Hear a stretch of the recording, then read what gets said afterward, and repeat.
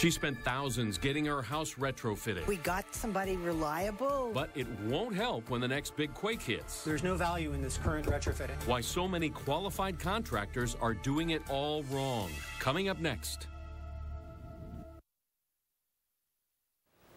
It seems a sensible path for Bay Area homeowners, retrofitting their homes against earthquakes. But in some cases, it offers a false sense of security.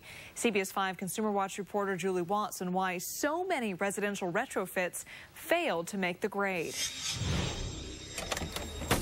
When it comes to retrofitting, Home Inspector John Fryer says he sees more things done wrong than right. No shear connection, got some funky electric. And Lois Silverstein's house near the Hayward Fault is a perfect example. These washers are undersized. They're the wrong type of nail. The plywood itself needs to extend down to this foundation. His verdict? There's no value in this current retrofitting.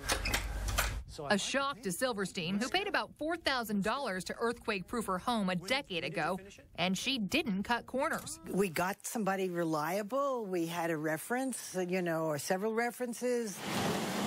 Well, it turns out many Bay Area homeowners are living with a similar false sense of security. It's estimated one to two thirds of retrofits in the Bay Area are inadequate and won't prevent structural damage in a major earthquake.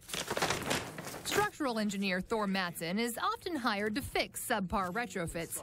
Poor work done by contractors, he says, are simply in the dark. Mostly, I think that it's a lack of training that's been available and uh, realistic details for contractors to follow. Two years ago, California adopted a seismic retrofit code known as Plan Set A. A detailed set of instructions on how to properly retrofit a home. The problem? Contractors aren't actually required to follow them and they only apply to one specific type of home, a small wood frame structure with a crawl space, without a tile roof, and there are a series of other specific requirements.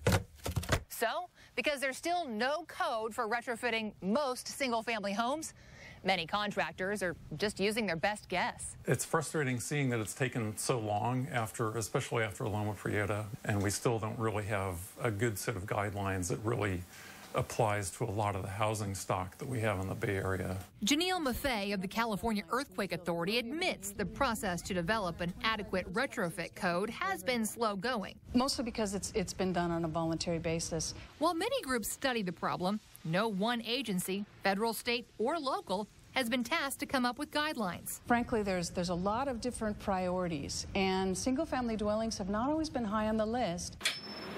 Well, the CEA is finally moving forward, working with FEMA to create retrofit guidelines for all types of homes.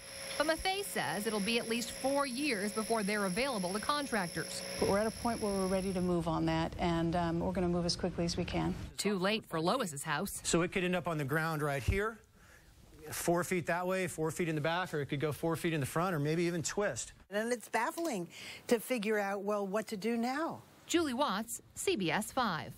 Now, California does not offer specific licenses for retrofit contractors. Experts say if your home doesn't fit the Plan A guidelines, hire a structural engineer.